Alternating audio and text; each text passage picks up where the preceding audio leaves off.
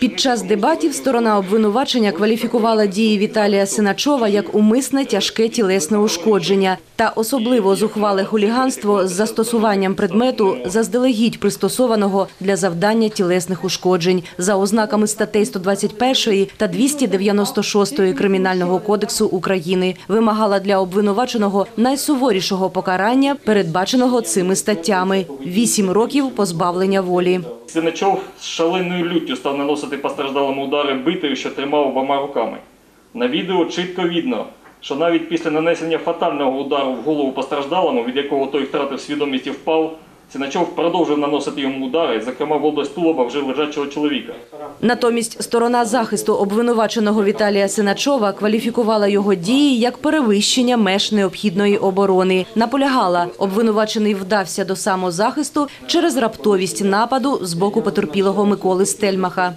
Прошу суд звернути увагу на те, що потерпілий першим здійснив напад на Синачова, що підтверджується відеозаписом події, та перебував у стані алкогольного сп'яніння. Обвинувачений визнає заявлені позовні вимоги в межах перевищення меж необхідної оборони. Розкаюється, визнає себе винним у скоєнні правопорушення, передбачене статтею 124 у зв'язку з тяжкими наслідками для здоров'я потерпілого. Я частково розумію свого колегу, тому що він зв'язаний е, позицією підзахисного. І якщо підзахисний е, обрав позицію того, що він нібито перебував у стані необхідної оборони, він вимушений цю позицію підтримувати і розвивати.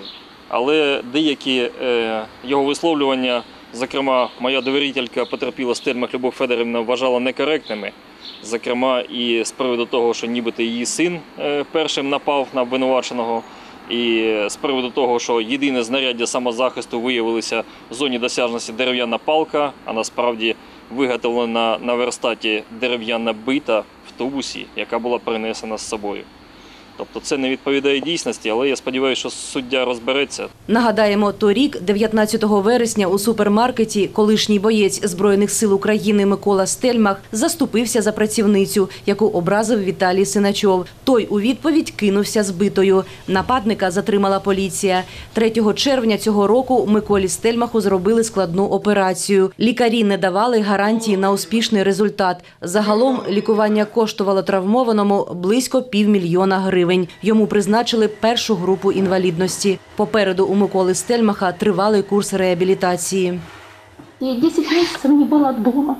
Я живу в Розовском районе.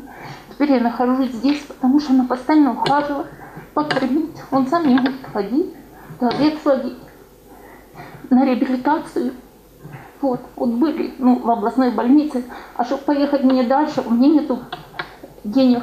Он так себя зухвало ведет. Він так себе зухвало поводить, хоче, щоб перекваліфікували статтю. Каже, що був в обороні, але це брехня. Є відеозйомка, свідчення очевидців. Микола не нападав на нього, а тільки відштовхнув, тому що той поводив себе агресивно і ображав продавчиню. Будь-яка нормальна людина зробила б те ж саме. Вирок щодо цієї кримінальної справи Жовтневий районний суд Запоріжжя оголосить у понеділок, 20 липня. Ольга Ларіонова. Новини на Суспільному. Запоріжжя.